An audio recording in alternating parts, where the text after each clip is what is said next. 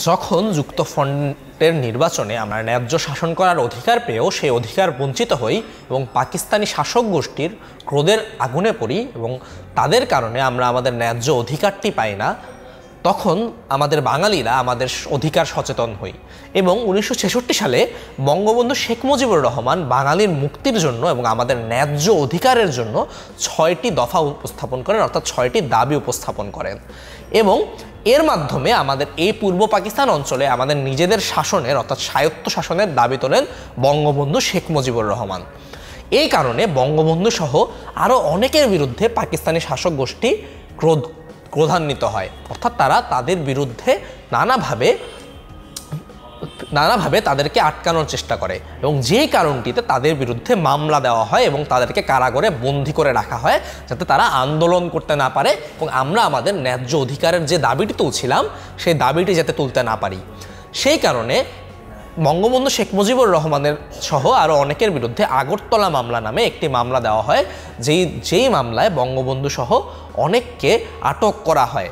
এবং অসংখ্য ছাত্র এবং অসংখ্য সাধারণ মানুষ যখন এটি সম্পর্কে জানলো, তারা এই গ্রেপ্তারের প্রতিবাদ জানান এবং সমগ্র বাংলাদেশে এই সকল কারাবন্দীদের যারা আমাদের দেশের স্বাধীনতার জন্য, আমাদের তখন পর্যন্ত ন্যায্য অধিকারের জন্য যেটি পরবর্তীতে স্বাধীনতা আন্দোলনের রূপ রয়েছে, তার জন্য যুদ্ধ করছিল, তাদের মুক্তির জন্য প্রতিবাদ শুরু করে এবং ছাত্র জনতা আন্দোলন শুরু করেন।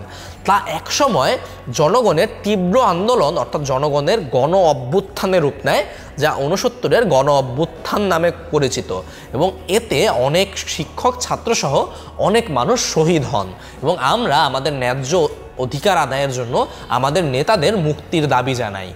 এর মাধ্যমে উনিশশো উনসত্তরের গণ অভ্যুত্থান আমাদের বাঙালিদের স্বাধীনতার পথে আরও এক ধাপ এগিয়ে দেয় এবং আমরা আমাদের ন্যায্য অধিকার না দিলে আমাদেরকে শোষণ করলে তার ফলাফল কীরকম হতে পারে তা পাকিস্তানের শাসক গোষ্ঠীদের তখন থেকেই জানানো শুরু করি, যার একটি বড় প্রমাণ হচ্ছে আমাদের উনসত্তরের গণ অভ্যুত্থান, যেখানে সকল শ্রেণির মানুষ স্বতঃস্ফূর্তভাবে অবস্থান করেন এবং পাকিস্তানিদের এই অন্যায়ের বিরুদ্ধে দাঁড়ান। সুতরাং আমরা এই পাঠ থেকে যে দুটি বিষয় জানতে পারলাম, সেটি হচ্ছে উনিশশো ছেষট্টি সালে বঙ্গবন্ধু শেখ মুজিবুর রহমান বাঙালির মুক্তির জন্য ছয়টি দাবি উপস্থাপন করেন, যা বাঙালির ন্যায্য অধিকারের জন্য গুরুত্বপূর্ণ ছিল। এরপর এই এই কারণে বঙ্গবন্ধু সহ আরও অনেকজনকে একটি মামলায় কারাগারে বদ্ধি করা হয়, যেটি আগরতলা মামলা নামে পরিচিত এবং সেই মামলা থেকে বের করার জন্য এবং তাদেরকে মুক্তি দেওয়ার জন্য বাঙালির সমগ্র স্তরের মানুষ একত্র হয়ে একটি অভ্যুত্থান করেন, যেটি উনসত্তরের উনিশশো সালে হয় এবং উনিশশো উনসত্তরের গণ অভ্যুত্থান নামে পরিচিত। তো বন্ধুরা, আমরা আমাদের দেশের ইতিহাস সম্পর্কে অনেকগুলো গল্প শুনলাম এবং আমরা এই বিষয়গুলো সকলেই মনে রাখার চেষ্টা করব। কারণ আমাদের জন্য, আমাদের জাতীয়তাবাদের জন্য, আমাদের দেশের, আমাদের নিজেদের জানার জন্য, আমাদের দেশাত দেশের প্রতি ভালোবাসার জন্য এই বিষয়গুলো অত্যন্ত গুরুত্বপূর্ণ। আমরা সকলে এই জিনিসগুলো জানব এবং মনে রাখার চেষ্টা করব।